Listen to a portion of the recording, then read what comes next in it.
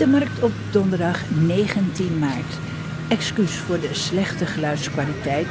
De gemaakte opnames zijn, zoals voorgeschreven, vanaf ruime afstand. Dit, handschoenen en pinnen zijn aan de orde van de dag. Wij adviseren de klanten, zolang wij eh, open mogen, eh, afstand te houden van elkaar. Minimaal anderhalf meter. Gekochte eten op de markt mee te nemen naar huis en daar te nuttigen.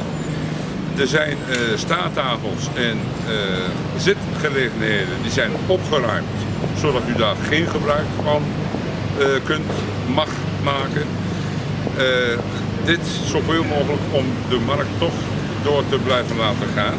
Kooplieden verplicht om allemaal handschoenen te dragen, dus ik moet er zelf ook het goede voorbeeld geven.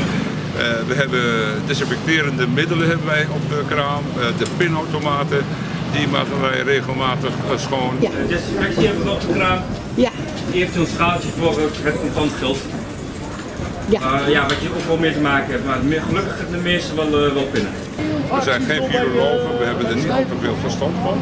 Maar het lijkt mij, als je binnen zit, dat je dus meer kans uh, loopt om ja, besmet te raken, maar in de open lucht toch wat minder. Dus we hopen uh, op uw medewerking als consument en klant en dat u de regels die wij opgesteld hebben en die wij ook doorgekregen van de gemeente en van de RVM, dat die dus hanteert zolang we iedereen uh, veilig en de markt kunnen blijven houden. Ja mensen, kom even naar buiten. Er is weer gezellig op de Albeloze markt. We houden een beetje alles bij. De heer hygiëne, we hebben de handschoentjes aan. En anderhalve meter afstand doet wonderen.